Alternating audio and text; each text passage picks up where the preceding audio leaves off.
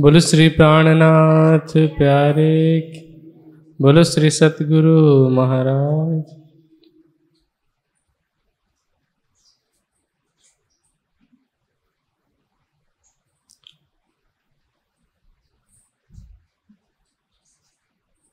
सुख विलास माहे नित्य वृंदावन, ऋषि महाविष्णु है जोए। वेद हमारो स्वसम है। तीरथ जमुना सोए। तीरथ जमुना सोए। शास्त्र श्रवण श्री भागवत। प्रणधार आत्म संबंधी सुंदर साथ जी। कल की चर्चा में हमने निजानंद संप्रदाय की पद्धति के कुछ कुछ भागों का वर्णन सुना। जैसे 108 पक्ष कौन कौन से हैं? सुख विलास का स्थान, नित्य वृंदावन है तो उसे सुख विलास का स्थान क्यों कहा गया है? महाविष्णु को ऋषि की संज्ञा क्यों दी गई है? गोलोक को शाला क्यों बताई गई है? जप किसे कहते हैं? उसकी क्या उपयोगिता है? किसे जप करना चाहिए? किसे ध्यान के मार्ग में आगे बढ़ना चाहिए? और जब चार वेदों की हम बात करते हैं तो पांचवा वेद स्वसम वेद कैसे हो गया? पांचवा वेद, आप कैसे सिद्ध कर पाएँगे? यमुना जी को तीर्थ कहा गया है तो वह यमुना जी कौन सी है? और परम धाम में जो यमुना जी है, उसमें यदि डुबकी लगाने की बात की जा रही है तो वहाँ कौन सा जल प्रवाहित हो रहा है? ये सब वर्णन हमने कल सुना। अब आगे, श्री जी को जो प्रश्न पूछे थे उन्हीं प्रश्नों का उत्तर देते जा रहे हैं। अगला प्रश्न उनका था कि आप शास्त्र के रूप में किसे मानते हैं? आपका शास्त्र क्या है? श्री जी ने कहा, शास्त्र श्रवण श्री भागवत। हम शास्त्र के रूप में किसका श्रवण करते हैं? भागवत का। अभी हमने परसों की चर्चा में ही सुना जब वेदांत दर्शनियों से बात हो रही थी, वेदांत दर्शनियों ने जब कहा कि सब कुछ ब्रह्म ही ब्रह्म है श्री जी ने कहा कि जब सब कुछ ब्रह्म है यदि, जो तुम सर्वत्र ब्रह्म कहो, तब तो अज्ञान कछुए नाही तो खट शास्त्र भय काहू को, मोहे ऐसी आवत मन माहे। कितने शास्त्र बताए श्री जी ने? छह शास्त्र हैं। छह शास्त्र कौन कौन से हैं? सांख्य, वैशेषिक, न्याय, मीमांसा, वेदांत और योग। छह शास्त्र तो हो गए। अब प्रश्न यह है कि यहाँ शास्त्र श्रवण श्री भागवत भागवत को शास्त्र क्यों कहा है? भागवत तो पुराणों की गिनती में आता है। जैसे चार वेद हैं, पांचवा यहाँ स्वसम वेद बताया गया, उसको हमने सिद्ध किया। इसी तरह से यहाँ भी आपको भागवत को शास्त्र सिद्ध करना पड़ेगा। कैसे सिद्ध करेंगे? जबकि भागवत तो पुराणों की श्रेणी में है। भागवत को महापुराण कहा जाता है। वैसे अठारह पुराण है और एक महापुराण है। महापुराण के संदर्भ में विवाद है समाज में। कुछ लोग देवी भागवत को महापुराण कहते हैं और कुछ लोग श्रीमद् भागवत को महापुराण कहते हैं। दोनों अलग अलग है। अच्छा लोगों में तो इस बात का भी कंफ्यूजन है। इस बात में भी संशय में पड़े रहते हैं कि ये श्रीमद् भागवत और भागवत गीता एक ही है कि अलग अलग है? ये जानकारी का अभाव है थोड़ा। श्रीमद् भागवत और गीता अलग अलग ग्रंथ है। गीता महाभारत का एक अंश है, जो भीष्म पर्व है, युद्ध शुरू होने से पहले। श्री कृष्ण जी ने अर्जुन को जो उपदेश दिए थे, उन 700 श्लोकों का जो संग्रह है, वह गीता के रूप में उपलब्ध है, महाभारत का अंश है। तो गीता अलग हो गई, भगवत गीता। भागवत अलग हो गई उसमें, भागवत एक पुराण है, इसमें बारह स्कंद बताए जाते हैं, जिसमें विशेष रूप से दसवें स्कंद में ब्रज और रास की लीला का वर्णन मिलता है। बाकी अनेक अवतारों का वर्णन है। बहुत सारी किस्से कहानियाँ हैं उसमें। और देवी भागवत में, देवी के विषय में, माता के विषय में बताया है आदिशक्ति जिसको कहा जाता है। तो ये तीनों अलग अलग ग्रंथ हो गए। श्रीमद् भागवत और भगवत गीता अलग अलग है और जहाँ महापुराणों की बात की जाती है तो वहाँ श्रीमद् भागवत और देवी भागवत के विषय में बहस चलती है, अभी भी चलती है। जो देवी भागवत के मानने वाले हैं, वो उसी को महापुराण कहते हैं और श्रीमद् भागवत को मानने वाले उसी को महापुराण कहते हैं। तो आज तक कोई भी निर्णय में नहीं पहुँचा है। और वैसे देखा जाए तो क्योंकि श्रीमद् भागवत में परब्रह्म की लीला का वर्णन है तो महापुराण उसको ही कहना चाहिए। ऐसा मेरा व्यक्तिगत विचार है। मैं कोई इसी पर थोप नहीं रहा हूँ, पर देवी भागवत में तो ब्रह्मलीला का कोई भी वर्णन नहीं है।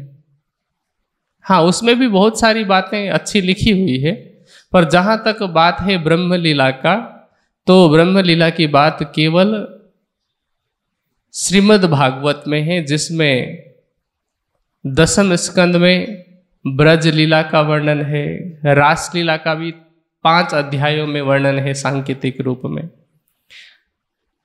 अब प्रश्न यह है कि शास्त्र हम कैसे कह रहे हैं? देखिए, पहली बात तो यह है कि शास्त्र का अर्थ हम समझें कि शास्त्र किसे कहते हैं। शासयते ये न सशास्त्र, अर्थात जिसके द्वारा अध्यात्म के क्षेत्र में किसी भी तरह का मार्गदर्शन दिया जाए, अथवा जिसके द्वारा प्राप्त किया जाए, उसे शास्त्र कहते हैं। अब ब्रज लीला में जो चाल हमारी थी, जो रहनी थी गोपियों की, और ब्रज से रास में जाते समय जिस तरह से हम गए, वाणी भी जागनी के ब्रह्मांड में हमें ये कह कर के प्रेरित करती है कि जो देखाई ब्रज रास में यही वतन चाल ब्रह्म सृष्ट ब्रज और रास में जो राह दिखाई गई है, उसका निर्देशन लेकर के, उसका अनुसरण करके हमें जागने के ब्रह्मांड में भी चलना चाहिए। जैसे प्रकाश की वाणी में भी ब्रज और रास का उदाहरण आया है कि याद करो तुम साथ जी हाथ आयो अवसर जी। आप डारिया ज्यो पहले फेरे, भी डारियो निशंक फेर जी। ऐसे अनेकों प्रसंग हैं जिसमें ब्रज और रास के उदाहरण से हमें राज जी ने समझाया है। तो उसको यदि कहीं से जानना हो कि ब्रज की लीला क्या है, रास की लीला क्या है, रास का वर्णन तो चलिए ब्रह्मवाणी में ही भागवत से अधिक है, पर ब्रज लीला का वर्णन वाणी में इतना अधिक नहीं है। तो वहाँ की बात को सीखने के लिए हम भागवत का निर्देशन लेते हैं। इसीलिए कहा गया, शास्त्र श्रवण श्री भागवत। छह शास्त्रों में नहीं है, पर भागवत से भी हम अध्यात्म के क्षेत्र में निर्देशन प्राप्त करते हैं। इसीलिए शासयते ये न शास्त्र के आधार पर हमने भागवत को अपना शास्त्र माना है। अब आगे कह रहे हैं, बुद्ध जागृत को ज्ञान। आपकी बुद्धि कौन सी है ये पूछा था आपका? ज्ञान कौन सा है ये पूछा था? तो श्री जी ने कहा कि जागृत बुद्धि के ज्ञान को अथवा तारतम वाणी को हम अपना ज्ञान मानते हैं। हमारा ज्ञान कौन सा है? जागृत बुद्धि का ज्ञान। भले ही हम उदाहरण के रूप में संसार के सभी धर्म ग्रंथों को पढ़ते हैं, उनकी चर्चा करते हैं, प्रयोग भी करते हैं, परंतु हमारा ज्ञान जागृत बुद्धि का ज्ञान है, जिसमें धर्म ग्रंथों के भी भेदों को धर्म ग्रंथ के रहस्यों को खोला गया है। अब इसमें, इस एक चौपाई को लेकर के समाज में एक भ्रांति फैली है कि एक वर्ग है, जो कहता है कि भागवत भी तो जागृत बुद्धि का ज्ञान है। क्योंकि चौपाई कह रही है, शास्त्र श्रवण श्री भागवत बुद्ध जागृत को ज्ञान। इसीलिए वो वर्ग भागवत की चर्चाएँ किया करता है।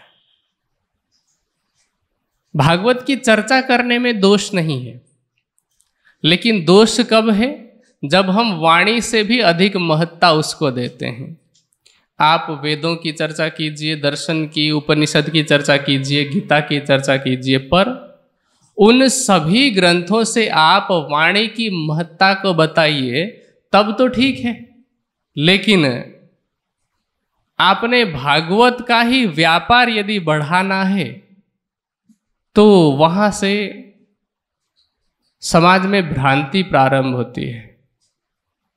लोग क्या करते हैं कि क्योंकि लोगों को पता है, जिन्होंने उसको व्यापार बनाया है तो उन्हें पता है कि यदि हम वाणी की चर्चा करेंगे, लोगों को नया नया सा लगेगा।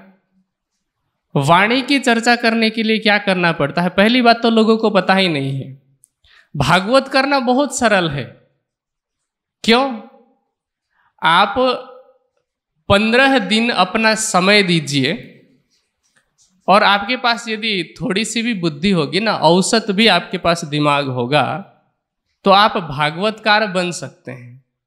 आपने देखा होगा कि समाज में छोटे छोटे बच्चे बाल व्यास बन करके, बाल कथाकार बन करके भागवत कथा कर रहे हैं। पर ये कैसे संभव है? क्या उन्होंने पूरी भागवत पढ़ी हुई है? नहीं। उन्हें कुछ कहानियाँ याद कराई जाती है। कहानियाँ तो बहुत सरल होती है ना, याद करने में, समझने, समझाने में। तो कुछ कहानियाँ उन्हें याद कराई जाती है। मान लीजिए कि आपने पंद्रह बीस कहानियाँ याद कर ली। आज मान लेते हैं कि सरसाओं में तीन दिन का भागवत कार्यक्रम रखा। तो आज के दिन एक घंटे के समय में मैं एक कहानी बोल दूँगा, बीच में एक दो भजन गाएँगे। एक दो झांकियाँ निकालेंगे, नाटक करेंगे और फिर दूसरी कहानी बता दूँगा। एक दो फिर भजन गाएँगे, फिर झांकी निकालेंगे। ऐसे करके पाँच छह कहानियों में एक घंटा खत्म हो गया। लोग, क्योंकि उनका तो मनोरंजन हो रहा है, इसीलिए सुन रहे हैं, भजन में मस्त होकर के ढोलक की थाप में झूम रहे हैं। अगले दिन फिर से कुछ और किस्से कहानियाँ बना दी, किस्से कहानियाँ बता दी, वैसे ही भजन और झांकी किए। तीसरे दिन तो लगभग लगभग पूर्णावती में, समाप्ति में निकल जाती है, थोड़ा बहुत फिर से बोल दिया। तो आपने 10-15 कहानियों से पूरी कथा खत्म कर दी और हर कहानी में कोई ना कोई सार तो उसका निकलता है ये सार बता दिया, लोग सोच रहे हैं, वाह, कितने बड़े ज्ञानी हैं। वास्तव में ऐसा नहीं होता है। पूरी भागवत का ज्ञान तो मुझे लगता है कि आज समाज में जितने भागवतकार हैं, उनमें से शायद पाँच प्रतिशत को भी नहीं होगा। शब्द ज्ञान भी। पाँच प्रतिशत को भी। क्योंकि अधिकांश भागवतकार तो स्वयं भू हैं। स्वयंभू भागवतकार, स्वयंभू व्यास। क्योंकि जो भी कथा करने बैठ जाता है, अपने नाम के आगे व्यास लगा देता है। जिनको पता ही नहीं है। तो इसीलिए भागवत करना सरल है। कुछ कहानियाँ याद कर लेनी है बस। और ज़्यादा से ज़्यादा दस, पंद्रह, बीस श्लोक आपने याद कर लिए, फिर तो लगेगा कि हाँ इनके जैसा तो कोई विद्वान ही नहीं है। जबकि वाणी की चर्चा करना कठिन है। कठिन कैसे? क्योंकि आपको वाणी की चर्चा यदि नए लोगों के बीच में करनी है तो केवल वाणी पढ़ना पर्याप्त नहीं होता है। जैसी जनता है उस जनता की मान्यता के हिसाब से समझाने के लिए आपको सब कुछ पढ़ना पड़ता है। यही वाणी वेदों का रहस्य भी खोल रही है तो वाणी भी आपको पढ़ना पड़ता है। दर्शन का रहस्य खोल रही, आपको दर्शन भी पढ़ना पड़ेगा। तभी तो रहस्य खोल पाएँगे ना। चाबी तो राज जी ने दे दी है, ताले के विषय में भी तो जानकारी होनी चाहिए। कुछ कुछ ताले ऐसे होते हैं जिसमें चाबी कहाँ लगाना हो पता ही नहीं चलता है। तो ये चाबी है हमारे पास। दर्शन के रूप में यदि दर्शन का रहस्य खोलना है, आपको दर्शन पढ़ने पड़ेंगे। आपको गीता के विषय में बताना है, वाणी के माध्यम से तो आपको गीता भी पढ़नी पड़ेगी। तो केवल वाणी पढ़ना पर्याप्त नहीं होता है। तो जब आपको वाणी की चर्चा करनी है, वाणी भी पढ़नी है, संदर्भ पता लगाने के लिए बीतक भी पढ़ना पड़ता है। मान लीजिए कि एक प्रकरण है सुनो रे सत के बंजारे, एक बात कहूँ समझाई। आपको इसे बताना है, बिना बीतक का आधार लिया आप बता के दिखाइए। अभी हमने थोड़ी देर पहले किरंतन गायन सुना, वारी रे, वारी, मेरे प्यारे, वारी रे, वारी। इस प्रकरण का पूरा संदर्भ बताना हो, पूरा प्रसंग बताना हो, बिना बीतक के बता के दिखाइए। नहीं बता सकते ना? तो वाणी को जानने के लिए वितक भी पढ़ना पड़ता है धर्म ग्रंथ भी पढ़ने पड़ते हैं। तो व्यापारियों को लगता है कि इतनी मेहनत कौन करे? इधर तो पंद्रह बीस दिन का इन्वेस्टमेंट है टाइम देना है और पूरे जीवन भर प्रॉफिट ही प्रॉफिट है, फिर तो गोविंद के गुण गाय के तापर मागत दान। करते रहो। लेकिन वाणी पढ़ना या वाणी की चर्चा करना, इसके लिए हमें समय देना पड़ता है।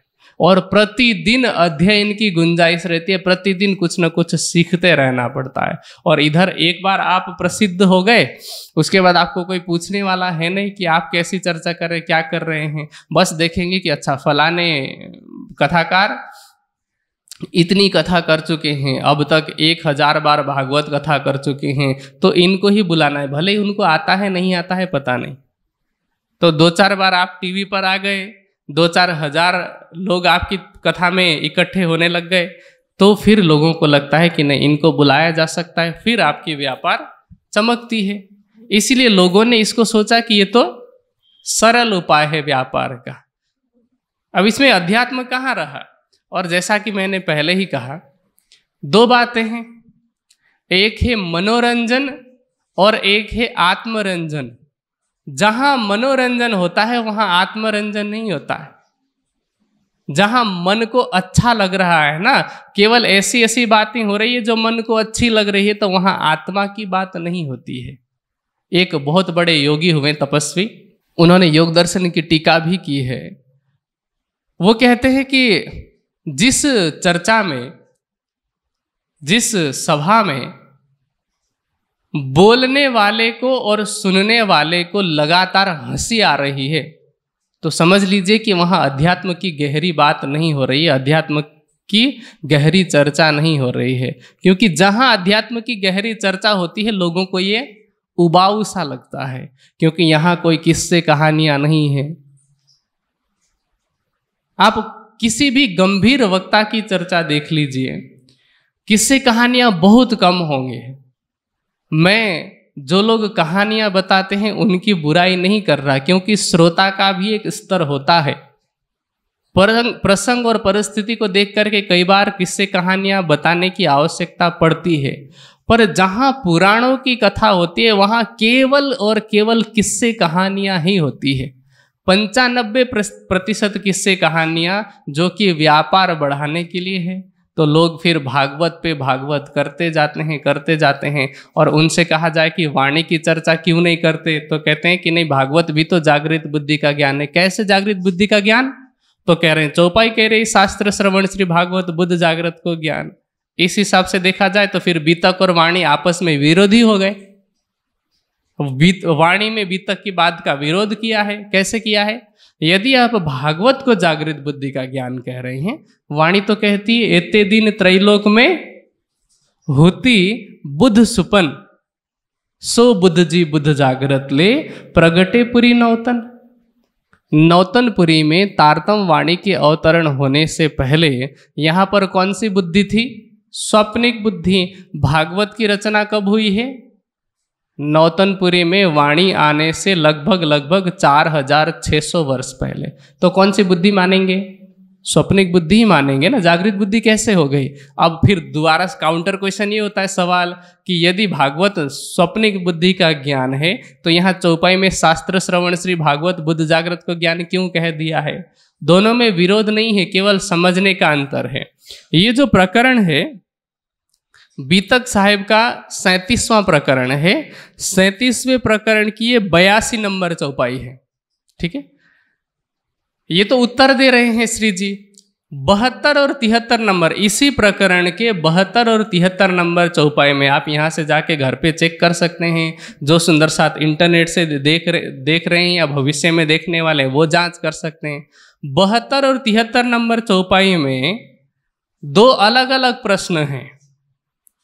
बहत्तर नंबर चौपाई का चौथा चरण है, तीर्थ शास्त्र जो है पहले था कि सुख विलास ऋषि देव जो, तीर्थ शास्त्र जो है आप अपने सुख विलास का क्षेत्र बताइए, ऋषि बताइए, देवता किसे मानते हैं वो बताइए, तीर्थ किसे कहते हैं वो बताइए, और शास्त्र किसे कहते हैं वो बताइए। शास्त्र इसमें आया, जिसका उत्तर क्या दिया श्री जी ने? शास्त्र श्रवण, श्री भागवत। अब अगली चौपाई शुरू होती है।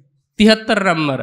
तिहत्तर नंबर चौपाई के पहले चरण में कह दिया, ज्ञान कहिए कुल आपनो। आपका ज्ञान कौन सा है वो बताइए और आप कुल किसको मानते हैं वो बताइए। तो श्री जी ने ज्ञान का जवाब कौन सा दिया? बुद्ध जागृत को ज्ञान। तो प्रश्न ही अलग अलग हैं।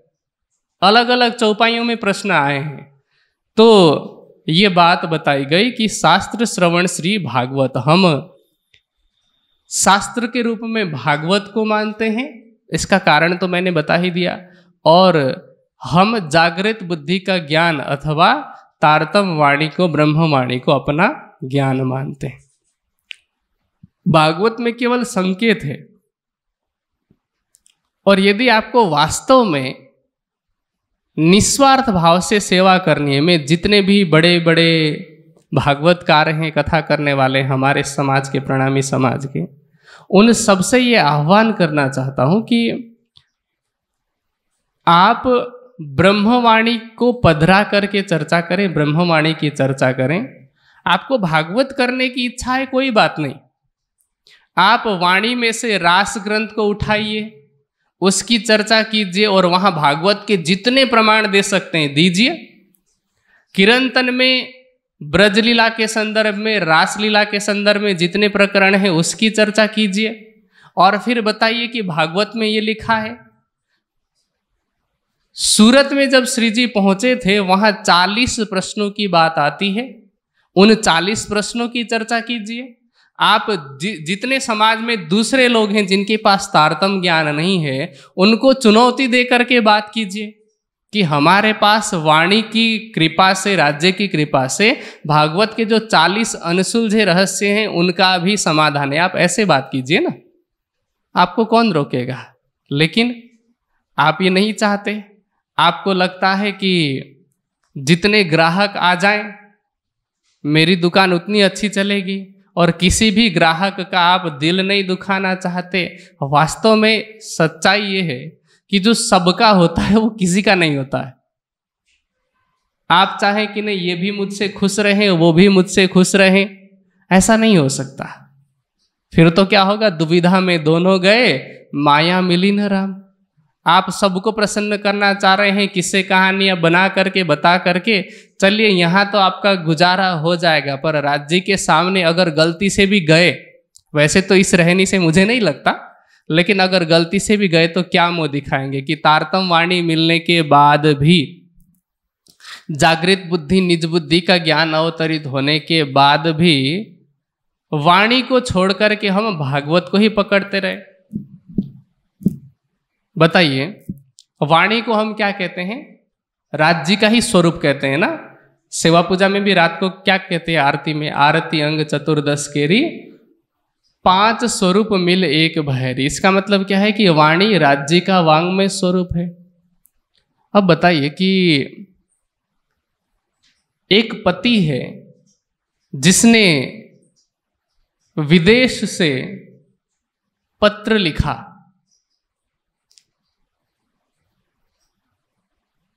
और उसके साल दो साल के बाद पति घर पर आता है। लेकिन आप जब पति घर पर आ चुका है, तब भी प्रतिदिन चिट्ठी पढ़ते हैं। पति की तरफ़ ध्यान ही नहीं देते। पति कह रहा है कि अब तो मैं आ गया हूँ, मैंने ही चिट्ठी भेजी है ये, और तुम चिट्ठी को देख रही हो, रोज पलट करके मुझे नहीं पूछ रही हो। कह रहे, नहीं, मुझे आपसे कोई लेना देना नहीं, मुझे चिट्ठी पढ़नी है। दिन भर चिट्ठी पढ़ती रहती और पति को पूछती भी नहीं। पति की तरफ़ देखती भी नहीं, पति से अनजान बने रहती है। ऐसी स्त्री को क्या बोलेंगे आप? ऐसा ही तो हो रहा है ना। भागवत को क्या कहा? ए भागवत कागज़ तुम्हारा, भागवत जो है हमारे लिए चिट्ठी है, राज्य के द्वारा भेजी गई। हम चिट्ठी को तो पकड़ के बैठ गए, साक्षात अक्षरातीत आ गए। उन्होंने ये ब्रह्मवाणी दे दी अपना वांग्मय स्वरूप। पाँचवें दिन की लीला समाप्त करने से पहले ये भी बोल दिया कि मेरे स्थान पर किसको रखना? ब्रह्मवाणी को। मुझे देखना है तो या तो ब्रह्मवाणी में देखना या सुंदर साथ के धाम हृदय में देखना। हम भागवत में ढूँढने जा रहे हैं। भागवत में कौन बैठा है? भागवत में राज्य नहीं बैठे। देखिए, अब फ़र्क क्या है? जब हम वाणी पढ़ते हैं तो फ़र्क पता चल जाता है। वाणी के विषय में हम कहते हैं, हक बैठे इन इलम में तो दिल अर्स हुआ रो, रोशन। वाणी? कहा वाणी में कौन है? राज़ी बैठे है ना हक बैठे इन इलम में अच्छा भागवत में कौन बैठा है? राज्य वाणी में क्या कहते हैं? न मानो तो जैने सुखजी ने पूछो। ए बैठा छे माहे भागवत। सुखदेव जी के लिए कहा गया है कि वो भागवत में बैठे। आलंकारिक वर्णन है पर समझने के लिए मैंने ये दो तुलनात्मक दृष्टांत दिए कि यदि किसी सुंदर साथ को लगता है कि हमारा संबंध राज्य के साथ है तो वो वाणी में बैठें, उनको देखें। यदि किसी को लगता है कि नहीं, राज्य तो छोड़ दीजिए, हमारा संबंध सुखदेव जी के साथ है तो ऐसे लोग भागवत को पकड़े। ये सबका व्यक्तिगत चॉइस है। मैं किसी पर बाँध नहीं रहा हूँ। मेरा तो काम यह है कि जितनी बात मुझे समझ में आ रही है, वो बता देना है। एक अंग्रेज़ी में कहावत कही जाती है you can lead the horse to the water but you can't make him to drink आप घोड़े को पानी के पास तो लेके जा सकते हैं, पर ज़बरदस्ती पानी थोड़ी पिला पाएँगे। तो हमारा फ़र्ज़ है बताना जो बात हमें समझ में आ रही है। अब किसी सुंदर साथ को लगता है कि नहीं नहीं, बात तो सही है, पर हमारे गुरुजी ऐसा ही मानते हैं, हम तो वही करेंगे जो हमारे गुरुजी कहते हैं। फिर तो ऐसी ही बात हो गई कि यहाँ बीतक में भी एक दो ऐसे प्रसंग आए, जहाँ उन मुसलमानों ने, शरीयती कर्मकांडी मुसलमानों ने कहा कि बात तो सच है, पर जब तक बादशाह नहीं मानेगा, औरंगज़ेब नहीं मानेगा, तब तक हम इस बात को स्वीकार नहीं कर सकते। फतेह मोहम्मद ने भी ऐसा ही जवाब दिया। इधर जो पाँच दरबारी थे, उनमें से भी कई लोगों ने ऐसा ही जवाब दिया।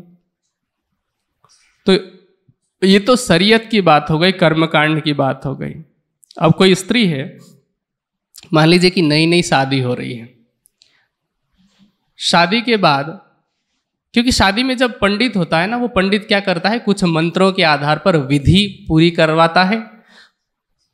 पुरुष और स्त्री के बीच में एक संबंध जोड़ने की वो प्रक्रिया को पूरा करता है। शादी पूरी हो गई। उसके बाद जो दुल्हन है वो पति के साथ जाएगी कि पंडित के साथ जाएगी?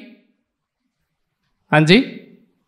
पति के साथ जाएगी ना? और स्त्री कहने लग गए लग जाए कि नहीं नहीं, पंडित जी ने ये सब कराया है। पंडित जी मेरे पति से भी बड़े हैं।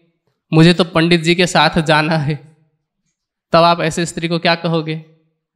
यहाँ ऐसा ही हो रहा है। वाणी हमारे आत्मिक पति की वाणी है और उनका साक्षात वांग्मय स्वरूप है। जितने पंडित हैं, पंडित अर्थात चर्चा करने वाले, जिनके माध्यम से समाज गुमराह हो रहा है, ये कहीं ना कहीं पंडित के रूप में ही तो है। ज़्यादा से ज़्यादा इन्होंने क्या किया है?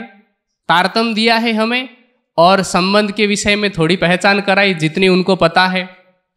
और हमने क्या किया? पति को पकड़ना, छोड़ करके पंडित को पकड़ना चुन लिया। इसलिए हमारा कल्याण नहीं हो पा रहा है, न कभी हो पाएगा। मूल राज्य को पकड़े। हाँ जो व्यक्ति निस्वार्थ भाव से वाणी को पहली प्राथमिकता देता है, जो मूल स्वरूप को पहली प्राथमिकता देता है, उसकी बात सुननी चाहिए, समझनी चाहिए। पर जो अपने व्यक्तिगत स्वार्थ के लिए वाणी से किसी और का महत्व अधिक बता रहे हैं तो समझ लीजिए कि ये सब स्वार्थी हैं। हमें वाणी को पहली प्राथमिकता देनी चाहिए। तो मुझे लगता है कि हम शास्त्र श्रवण श्री भागवत बुद्ध जागृत को ज्ञान इस प्रसंग को समझ गए हैं। अब आगे श्री जी कहते हैं, कुल मूल हमारो आनंद है।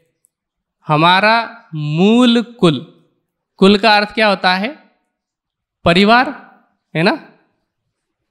कुटुंब इस कालमाया के ब्रह्मांड में आकर हमने, हम सबने अलग अलग कुल बना लिए अलग अलग परिवार बना लिए। बंटवारा इतना हो गया जितना सोचा भी नहीं था। यहाँ हम प्रांत के नाम पर, वर्ण के अथवा जाति के नाम पर, वर्ग के नाम पर, भाषा के नाम पर, परिवार के नाम पर बंटे हुए हैं। लेकिन वास्तव में देखा जाए तो हमारा कुल तो एक ही है ब्रह्म सृष्टियों का। जब गोत्र चिदानंद है, गोत्र तो कुल से ही होता है ना? जब गोत्र चिदानंद है तो कुल भी वैसे ही होगा। तो हमारे कुल का मूल, क्योंकि हमारा कुल, हमारा कुटुंब सुंदर सात का है ब्रह्म सृष्टियों का है तो उनका मूल क्या है? आनंद स्वरूपा श्यामा जी हमारा मूल है। हम सुबह सेवा पूजा में भी कहते हैं, श्यामा जी ना अंग हो सुंदर साथ। तो हमारे कुल का मूल श्यामा जी हैं। हम सब परम धाम के सुंदर साथ हैं। इस जागनी के ब्रह्मांड में कोई भी सुंदर साथ एक दूसरे के प्रति केवल इस भाव को लेकर के कि हम तो इस स्थान के हैं, हम इस परिवार के हैं। परिवारवाद के नाम पर, जातिवाद के नाम पर, भाषावाद के नाम पर, प्रांतवाद के नाम पर या किसी भी नाम पर किसी प्रकार का भेदभाव नहीं होना चाहिए। राज्य की दृष्टि में, आत्मिक दृष्टि से देखा जाए, राजाराम झाझनबाई जैसे सेठ में और भिखारी दास जैसे सुंदर साथ में कोई फ़र्क नहीं है। राज्य के लिए दोनों बराबर हैं। उनके लिए चाहे महाराजा छत्रसाल हो, चाहे चिंतामणि जी हो, चाहे शेख बदल हो, चाहे अव्वल खान हो, कोई फ़र्क ही नहीं है। क्योंकि सबका मूल एक है, वह दत्त की दृष्टि से हम सब एक हैं।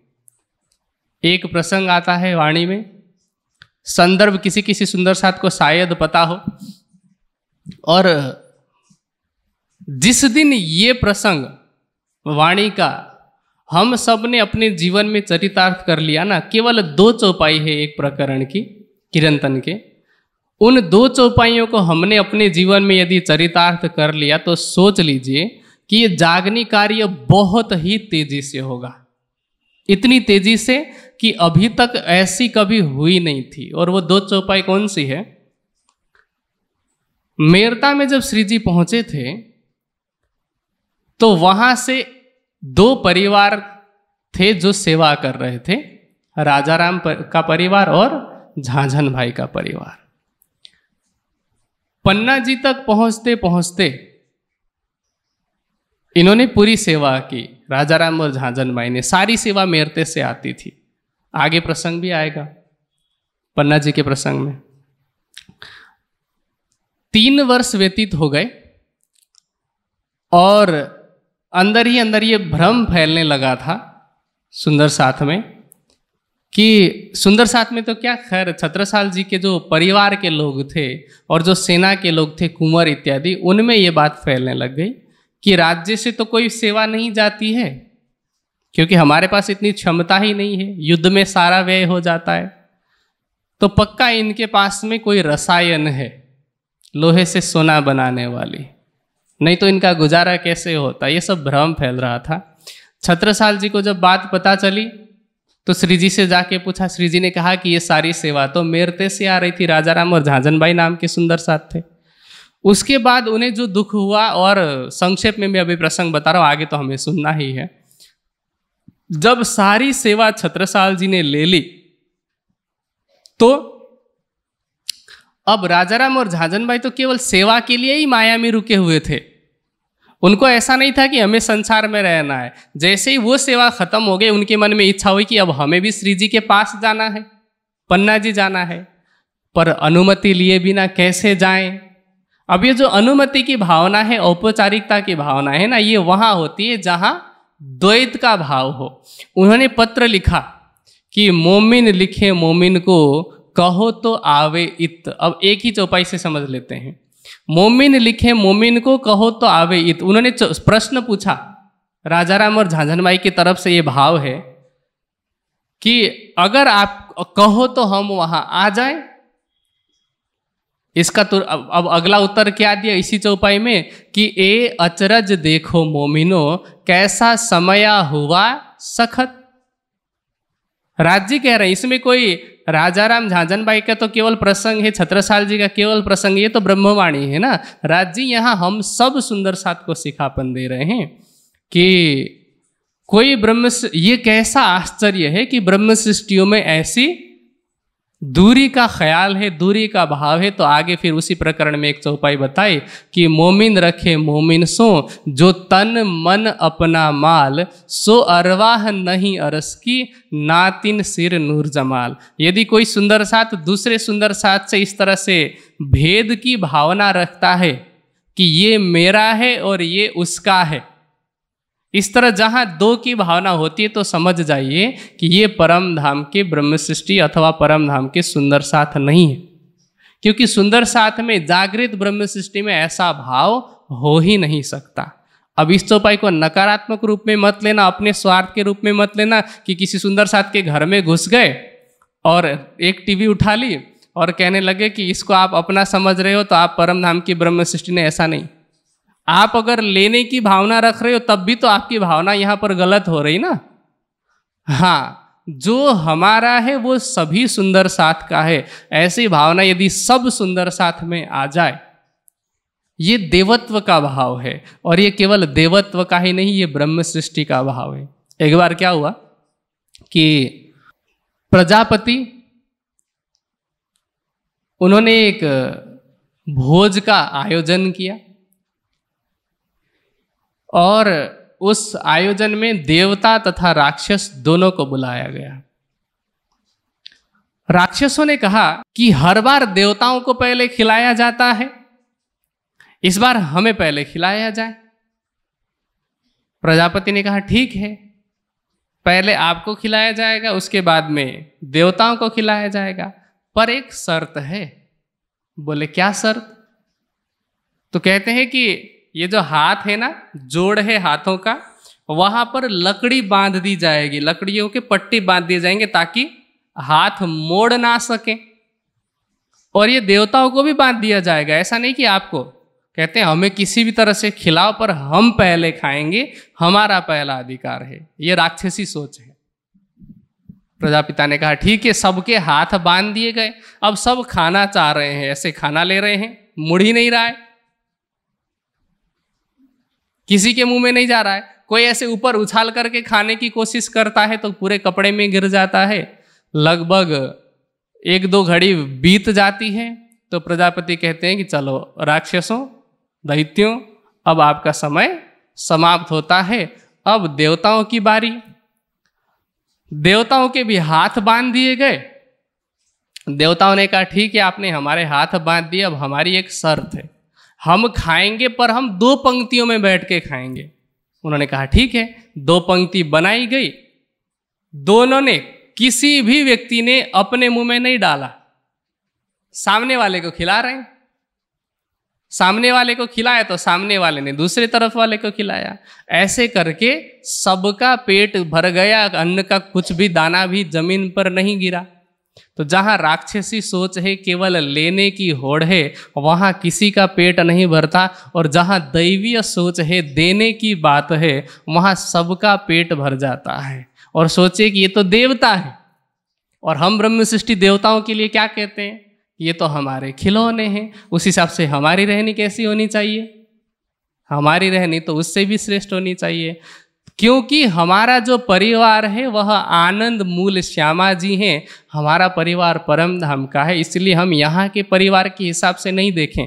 यहाँ पर किसी का पाँच लोगों का परिवार है, किसी का सात लोगों का, दस लोगों का संयुक्त परिवार हो सकता है। कोई परिवार अमीर हो सकता है, कोई परिवार गरीब हो सकता है। पर जब सब आत्मभाव से स्थित हैं, जो सुंदर साथ आर्थिक रूप से यदि सक्षम है, सबल है तो वो दूसरे सुंदर साथ के लिए अथवा जागने के लिए सेवा करें। कर्तव्य पूरा हो जाएगा और इतनी तेज़ी से जागने का कार्य होगा कि जैसा कि मैंने पहले कहा कि आप कल्पना भी नहीं कर सकते। पर अभी क्या हो रहा है? हमने पाँच लोगों के परिवार को अपना मान लिया है। और हमारा पूरा का पूरा ध्यान किसमें केंद्रित रहता है? उन परिवार को आगे बढ़ाने में यहाँ की वंश वृद्धि करने में और यहाँ के वंश को पढ़ा लिखा करके उनकी अगली पीढ़ी के लिए तैयारी करने में पूरा का पूरा समय गुजर जाता है। यहाँ आप राजाराम झाझन बाई के प्रसंग से सीखिए कि उन्होंने ये नहीं सोचा कि हमारे परिवार का क्या होगा। उन्होंने कहा, वो भी सेवा में लगेंगे। सबको सेवा में लगाया।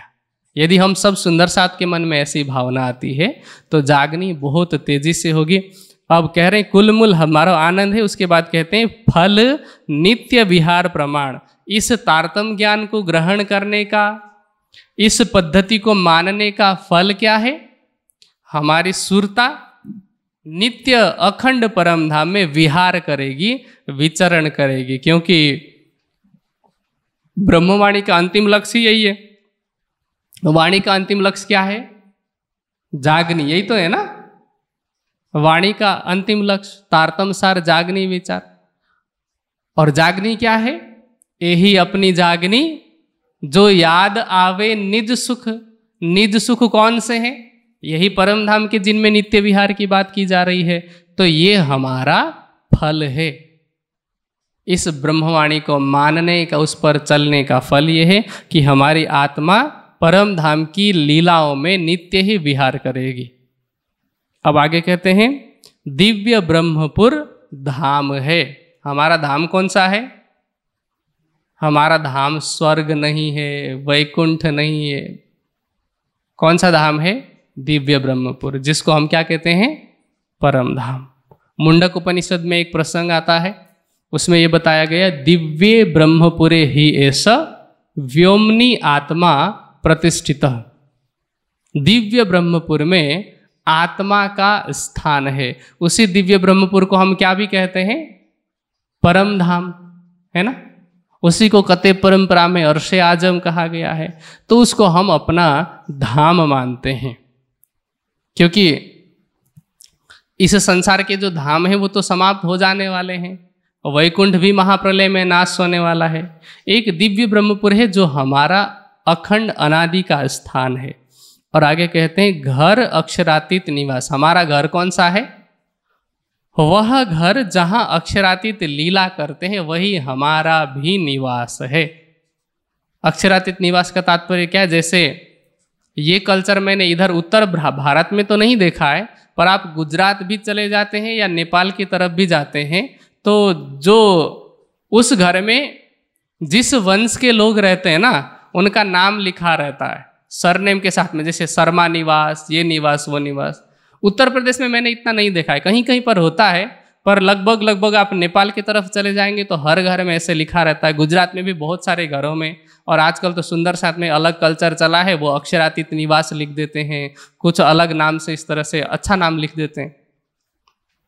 तो यहाँ अक्षरातीत निवास का तात्पर्य है कि जिस घर में अक्षरातीत रहते हैं, इस लौकिक घर की बात नहीं है, उस परम धाम को हम अपना घर कहते हैं, वही हमारा मूल घर है। और आगे कहते हैं, निजानंद है संप्रदाय संप्रदाय किसे कहते हैं पता?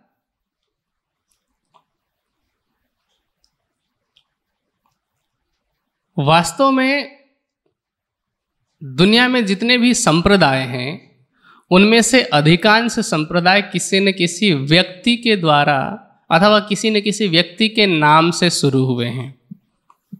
ज्ञान की वो धारा जो एक के बाद एक प्रदत्त की जाती है, वह संप्रदाय है।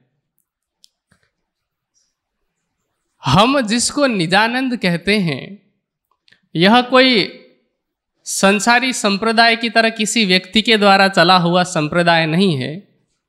हाँ क्योंकि प्रश्न पूछा है आपने कि आपका संप्रदाय कौन सा है तो हमें उसका उत्तर बताना पड़ेगा। तो श्री जी ने कहा, हमारा संप्रदाय है निज आनंद। निजानंद का तात्पर्य ये कि ज्ञान की वो धारा जिस पर चलकर हम अपने आनंद को निज अर्थात स्वयं के आनंद को प्राप्त कर सकें। अब वैसे सुनने में निजानंद शब्द बहुत सरल लगता है। लेकिन इसमें जो रहस्य छिपा है ना यहाँ से तो अध्यात्म की शुरुआत होती है। निज का मतलब क्या? हाँ जी। निज का मतलब स्वयं, है ना? अपने आप को। अध्यात्म जगत का पहला प्रश्न क्या है? मैं कौन हूँ? यहाँ मैं का मतलब कौन? निज का मतलब मैं है ना? तो यहाँ निज आनंद का मतलब है अपना आनंद। जब आप अपने आनंद की खोज करते हैं अध्यात्म की शुरुआत यहाँ से होती है कि मैं कौन हूँ? मैं कहाँ से आया हूँ? मेरी आत्मा का प्रियतम कौन है? कहाँ है?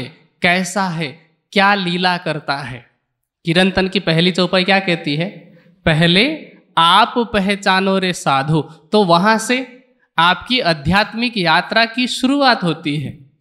तो निजानंद का तात्पर्य ऐसा मत समझिए अच्छा निजानंद, कोई नाम होगा। ये नाम नहीं है। जहाँ अपने आनंद की खोज की बात हो रही है, प्रश्न ये कि मैं कौन हूँ? यदि आप अपने आप को शरीर मान रहे हैं तो यह शरीर भी मैं नहीं हूँ। इंद्रियाँ हैं अलग अलग पाँच ज्ञानेन्द्रियाँ हैं, पाँच कर्मेंद्रियाँ हैं, अंतस्करण है। मैं न इंद्रिय हूँ, न अंतस्करण हूँ, न ये शरीर हूँ। मेरा नाम यदि कुछ है तो वह भी मैं नहीं हूँ। तभी तो ये कहा जा रहा है कि मेरा नाम, मेरा कहने वाला और नाम दो अलग अलग वस्तु है ना? जैसे उदाहरण के लिए, ये मेरा फ़ोन है। फ़ोन अलग हो गया, मैं अलग हूँ। नाम यहाँ दिखाई नहीं पड़ रहा है, पर नाम भी अलग है। यहाँ मेरा किसे कहा जा रहा है? मान लीजिए इस शरीर की जब पैदाइश हुई, जब ये शरीर जन्म लिया, उसके सात दिन के बाद नाम रखा गया होगा, अशोक रखा गया। मैं उससे पहले भी था। इसका नाम बदल लूँ। अब सब लोग अशोक के नाम से जानते हैं, लेकिन मैं नाम बदल लूँ। तब भी मैं मैं ही रहूँगा। मेरे गुण, कर्म, स्वभाव में कोई फ़र्क नहीं पड़ेगा। इसका मतलब यह है कि जो मैं हूँ, वो अलग है इससे। इस शरीर से अलग है। यहाँ से अध्यात्म की शुरुआत होती है। जब हमारा दृष्टिकोण शरीर से हट जाता है, इस पिंड से हट जाता है, इंद्रियों से, अंतस्करण से हट जाता है तो हमारी अध्यात्म की यात्रा शुरू होती है। अब प्रश्न यह है, निज का तो हमें थोड़ा सा पता चला। आनंद के विषय में भी पता कर लेते हैं।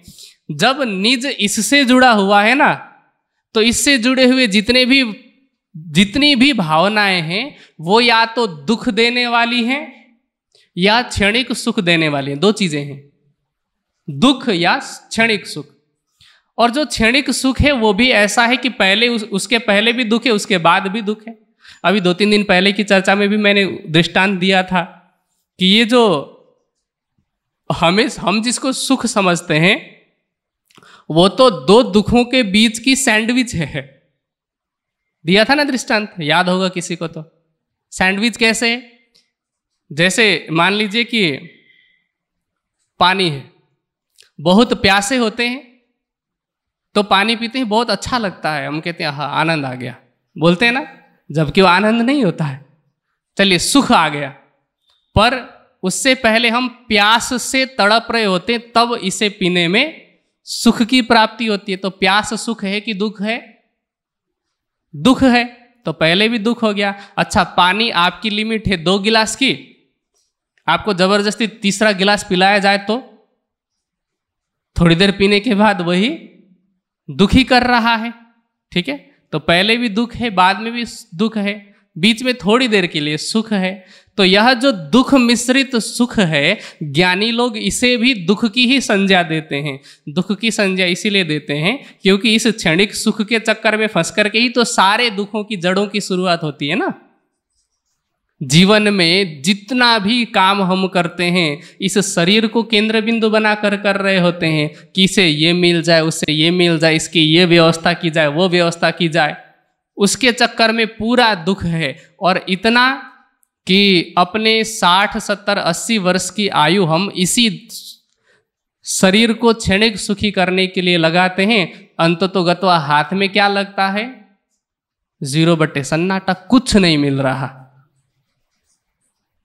इसीलिए विद्वान इसे इस तरह से दुख कहते हैं कि मैंने उदाहरण दिया था परसों शायद, परसों या उससे एक दिन पहले की चर्चा में, कि एक बहुत बड़ा घड़ा है, उसमें दूध भरा हुआ है, बहुत ही अच्छा मीठा दूध भरा हुआ है, मधुर, और उसमें दो चम्मच जहर डाल दिया जाए। तो कोई व्यक्ति उसको क्या कहेगा? उसको दूध बोलेंगे कि जहर बोलेंगे? हाँ जी। मात्रा तो वहाँ दूध की ज़्यादा है, फिर भी हम उसको जहर ही बोलेंगे, है ना? और यहाँ दुख की मात्रा ज़्यादा हो रही, फिर भी सुख बोल रहे हैं। यहाँ उल्टा हो रहा है। इसलिए बुद्धिमान व्यक्ति इस दुख मिश्रित सुख को भी दुख की ही संज्ञा देते हैं। अब सुख और दुख दो बातें हो गई, इन दोनों से परे आनंद है। शरीर का जो सुख है या शरीर का जिसको हम आनंद कहते हैं, उसे सुख कहा जाता है और आत्मा का जो सुख है, वही वास्तव में आनंद है। तो निज की जो पहचान की बात की जा रही थी, जब पता है कि मैं ये नहीं हूँ, शरीर नहीं हूँ, इंद्रियाँ नहीं हूँ तो मैं आत्मा हूँ और उस आत्मा का जो आनंद है, उस आनंद को क्या कहते हैं? निज आनंद। तो निजानंद शब्द की जहाँ से शुरुआत होती है ना, यदि हम इन दोनों शब्दों को भी अलग अलग करके अर्थ और भाव को समझे, तब भी हम अध्यात्म में चलने के प्रति अग्रसर हो जाएँगे। तो ये शब्द श्री जी ने ऐसे ही नहीं बोल दिया कि चलो इन्होंने पूछा, मैं नाम बता देता हूँ जल्दी में कि चलो निजानंद नाम है। ऐसे नहीं है। बहुत गहरा भाव इसमें छुपा हुआ है।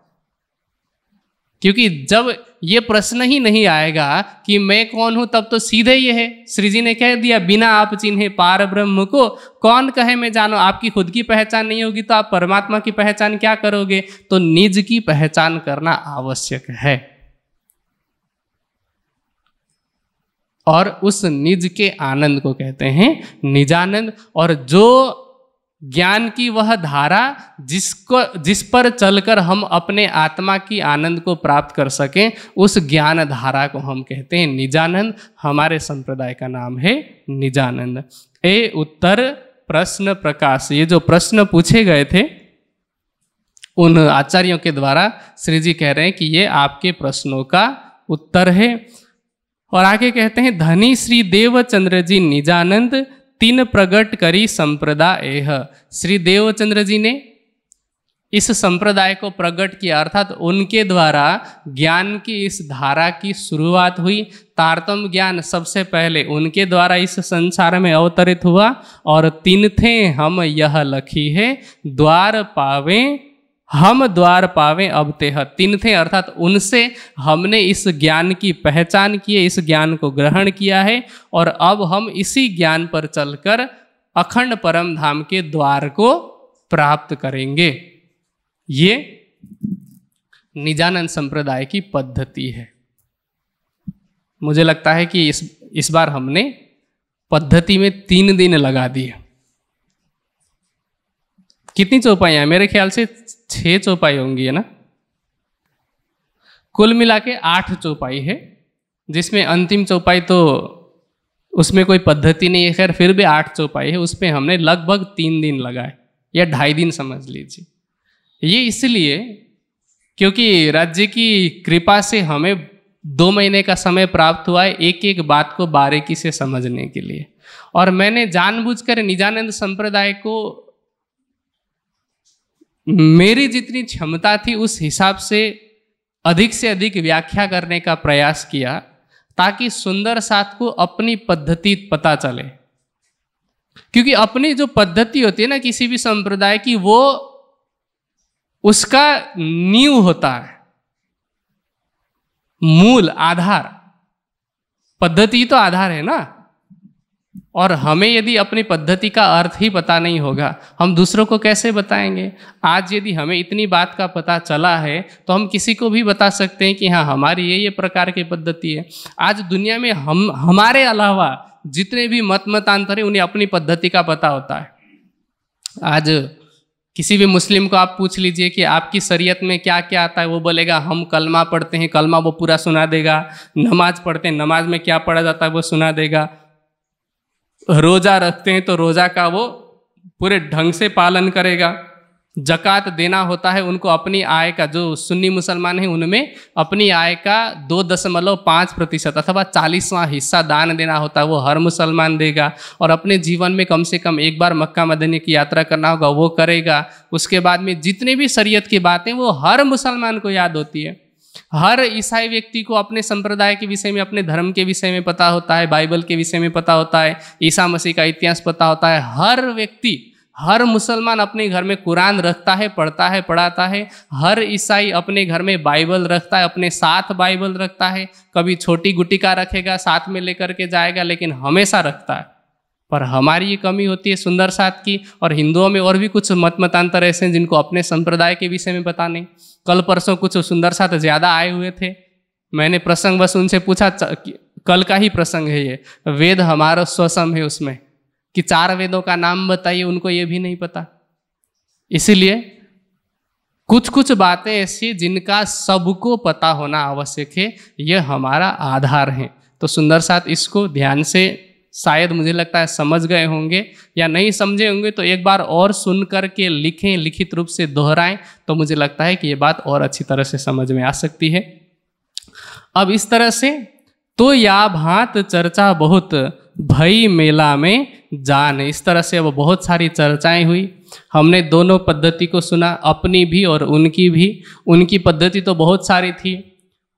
वैष्णवों के चार संप्रदाय, दस नाम सन्यासी, छह दर्शन के आचार्य, सारी पद्धति जानने के बाद हमने अपनी पद्धति को जाना। श्री जी ने शास्त्रों की सभी प्रमाणों को देख करके, सभी शास्त्रों से प्रमाण देकर उस ज्ञान को बताया जो अब तक कैसा था, अवगत गति जो प्रमाण, वह परमात्मा जो अब तक अवगत था, अर्थात जिसको आज तक किसी ने नहीं जाना था जिसके स्वरूप के विषय में, जिसकी लीला के विषय में, जिसकी पहचान के विषय में किसी को पता नहीं था, श्री जी ने उनकी पहचान कराई और आगे कहते हैं, तहाँ पैंतीसा के बरस में भय निशान धूम्रकेत।